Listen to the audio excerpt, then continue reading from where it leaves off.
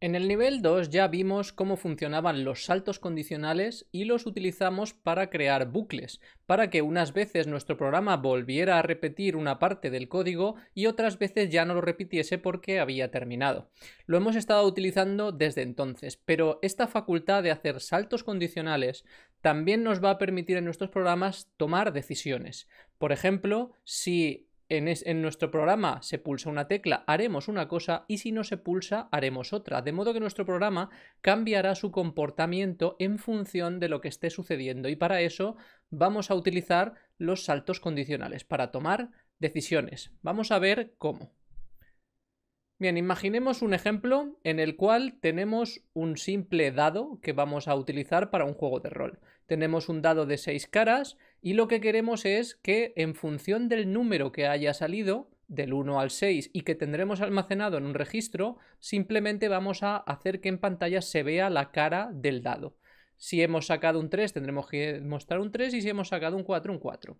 ¿Cómo vamos a hacer esto? Pues empezamos por lo más sencillo. Como ya sabemos, ya creamos rutinas con las cuales vamos a dibujar nuestros 6 dados. Así que vamos a hacer 6 rutinas y las rutinas, como veis aquí, tendrán una etiqueta al principio, un red al final y por en medio va a estar todo el código con el cual vamos a estar dibujando nuestros dados. En particular, el código que estáis viendo ahora es el código que dibujará la cara 1. Falta todo el código aquí en medio, lo hemos recortado para que se entienda el concepto, pero básicamente es esto. Cuando queramos dibujar la cara 1, lo que vamos a hacer es utilizar la orden call. Con esta instrucción sabemos que lo que va a hacer el programa es saltar a esta posición de memoria, concretamente aquí, justo después de la etiqueta, ejecutará todo este código y cuando haya terminado red leerá la dirección de retorno que volverá justo detrás del call. Así que cada vez que queramos dibujar la cara 1 del dado, solamente tendremos que hacer call dibujar cara 1. Bien, antes de dibujar la cara 1, lo que vamos a hacer, como veis aquí, esta rutina además tiene en cuenta que usa la posición actual de HL para dibujar ahí la cara 1. Y por eso ponemos HL en la posición C028 si queremos dibujarlo ahí, en esa fila 1, justo antes de llamar a call, porque esta rutina utiliza la posición actual de HL. Bien, con eso es lo, que, lo único que necesitamos para poder dibujar nuestras caras. Ahora, ¿qué hace nuestro programa? Nuestro programa principal, que lo tenemos en nuestra posición 4000 que ya conocemos, lo único que va a hacer es tener en el registro A un valor, que en este caso como veis es el 1. Eso es lo que simulará que, por ejemplo, hemos conseguido un valor aleatorio y ha quedado en el registro A. Y entonces lo que va a hacer es llamar a una rutina llamada dibuja cara A. Y esta rutina lo que tiene que hacer es coger lo que haya en A, que se lo hemos dejado puesto, le hemos dejado un 1, y según lo que haya, dibujar la cara del dado que toque. Podrá dibujar la cara 1, la 5, la 2, la 3, en función de lo que haya en A.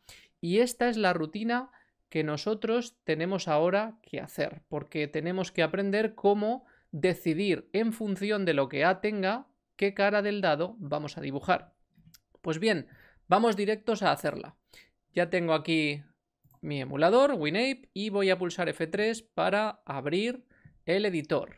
Editor en el que, como veréis, ya tengo cargado el programa con mis rutinas de dibujado, que como veis están las 6 y hechas de una manera muy similar. No me voy a detener mucho, pero fijaos que delante de cada una de las rutinas lo que suelo poner es un comentario como este, que lo que me sirve es para visualmente saber dónde empieza una rutina y dónde termina, que es donde empieza la siguiente. Así, con solo pasar el código arriba y abajo de un vistazo, ya sé dónde empieza una rutina y dónde termina. Y además, para no tener que leerme lo que hace el código, aquí pongo un comentario que explica qué es lo que hace esa rutina y además explica también qué datos espera que hayamos puesto antes de llamarla. Por ejemplo, lo que habíamos dicho antes, esta rutina utiliza lo que haya en HL para posicionar en pantalla uno de los dados, de modo que antes de llamarla pondremos en HL el valor de donde queremos que pinte. también tengo aquí un indicador de qué registros modifica, porque es importante que si una rutina modifica cosas, lo sepamos porque el programa principal cuando la llame, si algo de lo que teníamos en un registro nos ha cambiado, tenemos que saberlo. Pues eso es lo que pongo delante de cada una de las rutinas, además de los comentarios que van explicando qué es lo que hace cada parte del programa, para así entenderlo fácilmente. Bien, ahora vamos a lo principal. Aquí tenemos nuestro programa principal que ya hemos hablado de él. Metemos en el registro A un valor y llamamos a dibuja cara A. Esa rutina aún no existe, hay que implementarla, así es que voy a coger este cachito, voy a pegarlo aquí y voy a llamarlo dibuja cara A. Y lo primero que voy a poner es el red, que es lo que siempre va al final.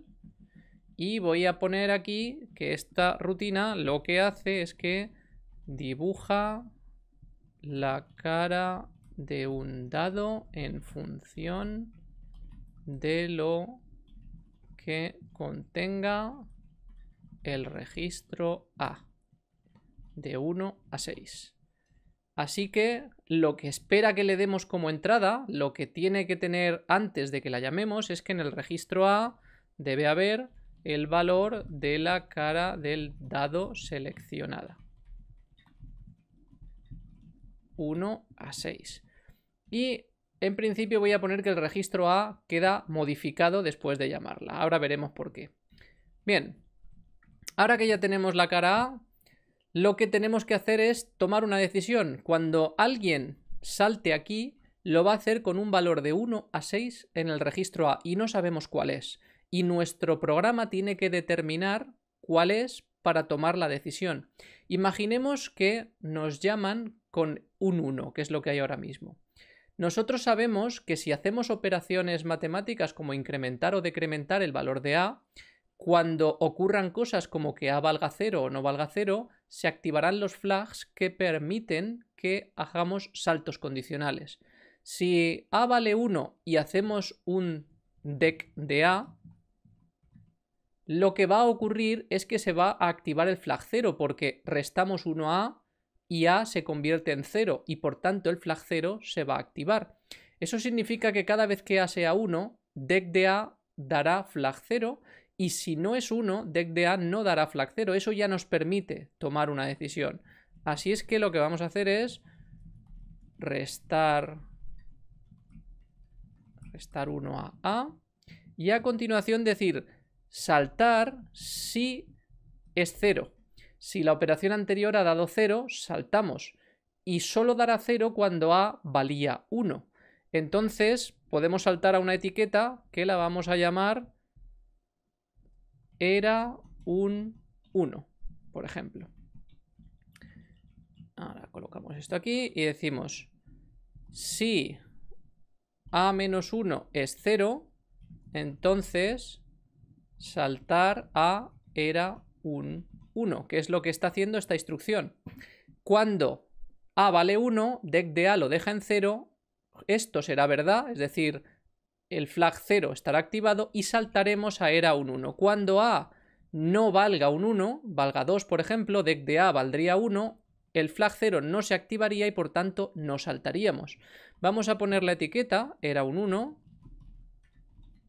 y vamos a marcarlo. Esta zona de aquí será no era un 1 y aquí sí será era un 1. De modo que cuando A en este punto valga 1, ya sabemos que esto saltará y vendrá a parar aquí. Por tanto, todo esto de aquí no se ejecutará. Se ejecutará lo que haya a partir de aquí, cuando A valga 1. Cuando A valga 2 o 0 o 5, cualquier otra cosa, como no va a haber un 0 aquí, no saltará y por tanto continuará por aquí, ejecutando esto.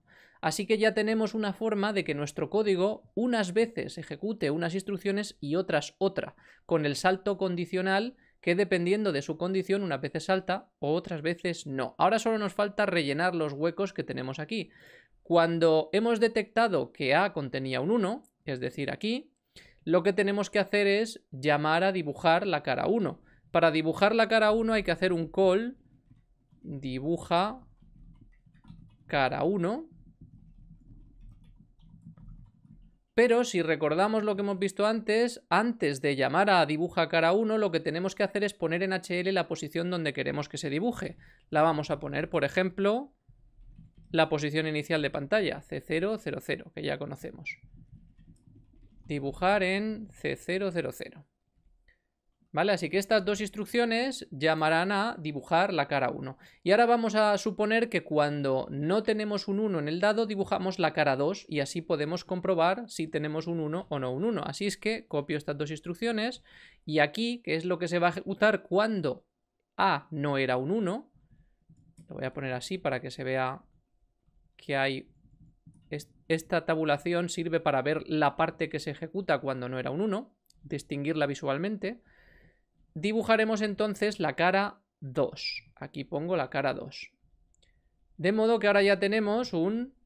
Si A vale 1, saltaré aquí y dibujaré la cara 1 antes del red. Esto de aquí no se hará cuando A valga 1.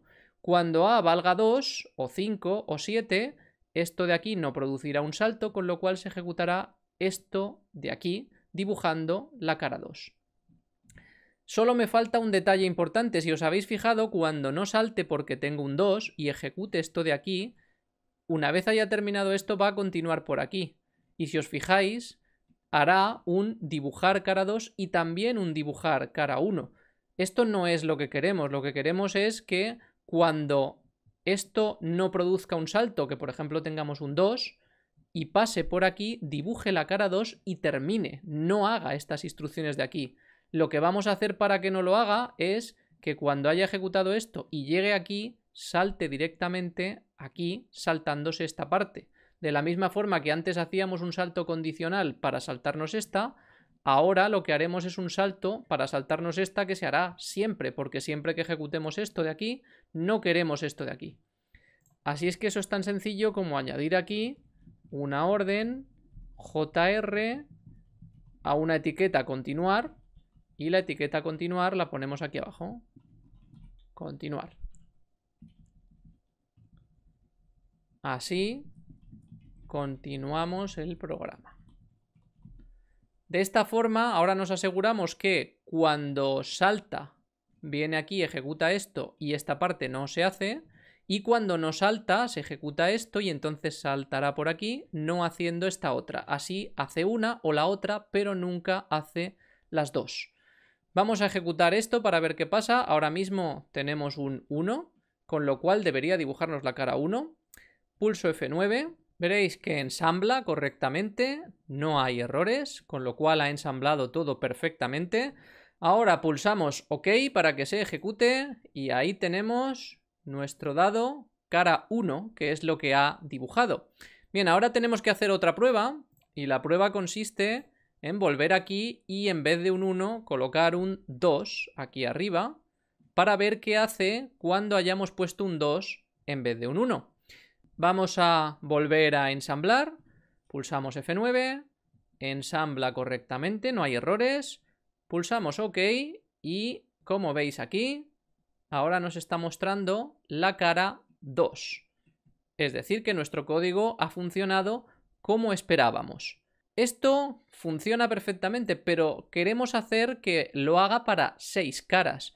¿Cómo podemos añadir ahora que si en vez de ser un 1 o otra cosa, sea si es un 1 dibuja la cara 1, si es un 2 la cara 2 y si es un 3 o otra cosa la cara 3? Es decir, añadir una condición más. Volvemos a nuestro programa y ya sabemos que esta parte de aquí se ejecuta cuando se produce este salto, es decir, cuando A vale 1. Esta parte de aquí se produce cuando A no vale 1 y cuando no valga 1 puede ser cualquier otra cosa. Así que aquí dentro podemos a su vez poner otra comprobación que nos vea si lo que vale A era un 2 en vez de un 1 u otra cosa.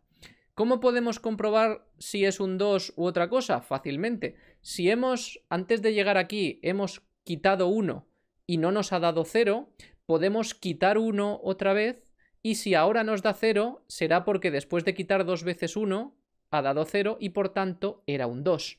Así que podemos repetir esta, este trozo de código que teníamos aquí.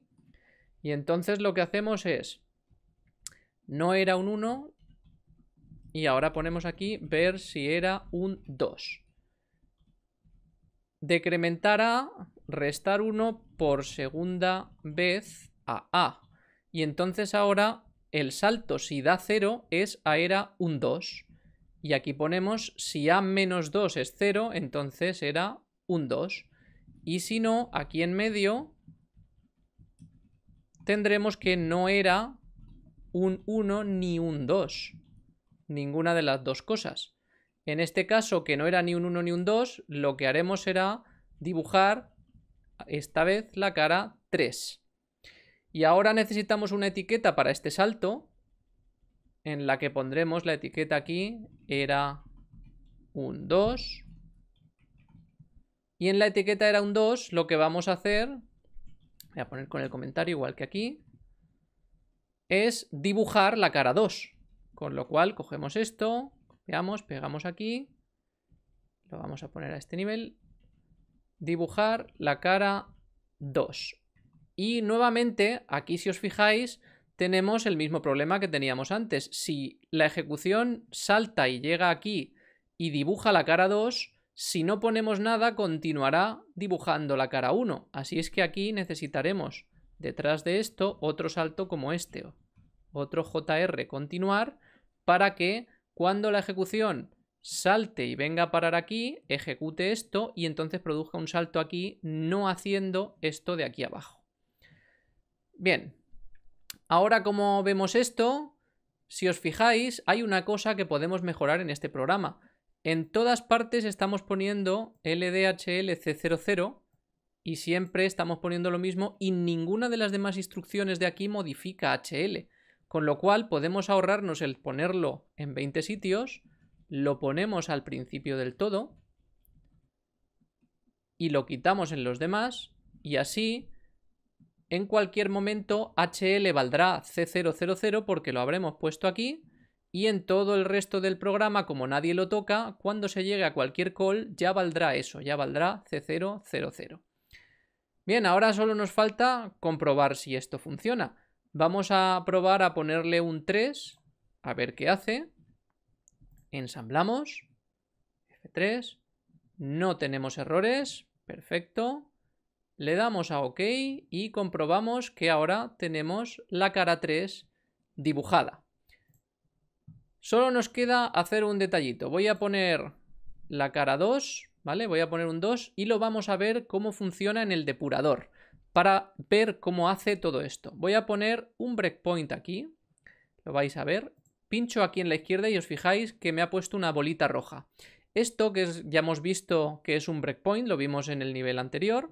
Lo que va a hacer es que cuando yo ejecute mi programa, la ejecución se detendrá en esa posición de la memoria y me dejará ver el depurador para que pueda ver qué está sucediendo. Así es que pulso F9, esto ensambla, le damos a OK y aquí nos aparece el depurador que si os fijáis está justo en la posición 4002 donde pone call dibuja cara A, que además ahora el depurador, como tenemos las etiquetas puestas, nos las pone aquí también.